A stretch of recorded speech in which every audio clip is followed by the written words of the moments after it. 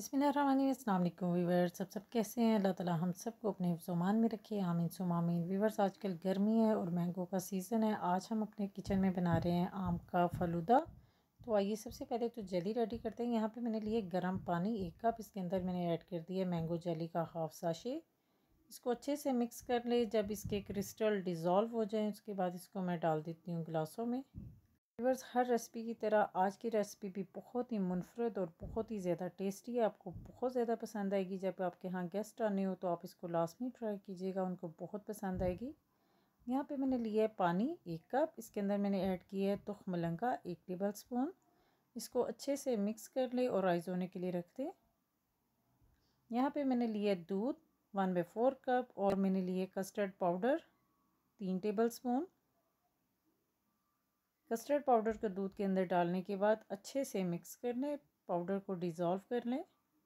थोड़ा थोड़ा custard powder दूध के अंदर डालने के बाद मैं इसको अच्छे से मिक्स कर लेती हूँ ताकि ये बिल्कुल अच्छे से डिज़ोल्व हो जाए। विवर्स दूध को मैंने मीडियम लो फ्लेम पे गर्म होने के लिए रखा हुआ है।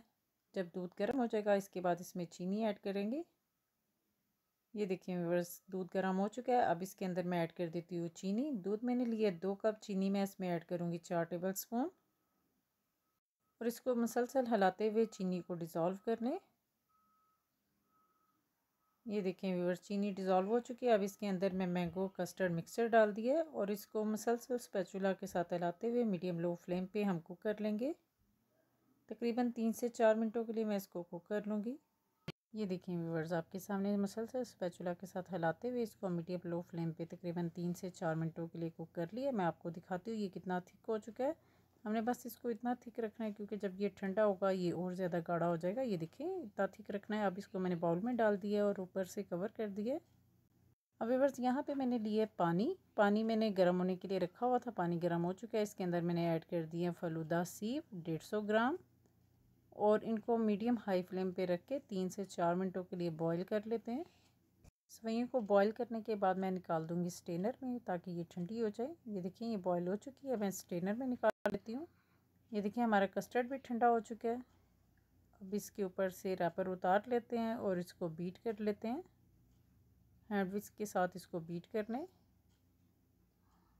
ये देखें व्यूअर्स, कस्टर्ड को मैंने मिक्स कर लिया। अब इसके अंदर मैं ऐड करूँगी कुछ फ्रूट। यहाँ पे मैंने लिया एक अदद केला और इधर लिया मैंने आधा सेब।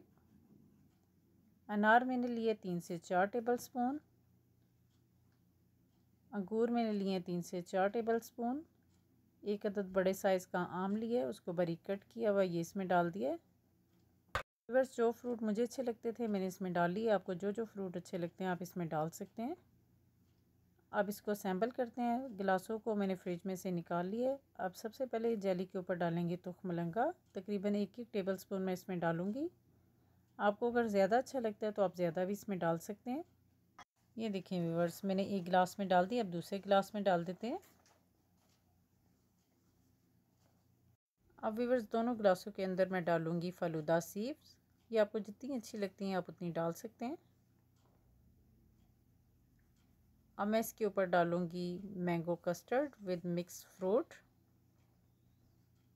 Viewers इसी तरह कस्टर्ड आपको जितना अच्छा लगता है, जितना आपको फ्रूट अच्छा लगता है, आप उतना उसमें डाल सकते हैं। वीवर्स देखा, आपके लिए बहुत ही टेस्टी यमी सा मैंगो कस्टर्ड फलूदा रेडी हो रहा है। आपको बहुत पसंद आएगा, अगर आप जिसके लिए भी बनाएँगे, उसको भी बहुत पसंद आएगा।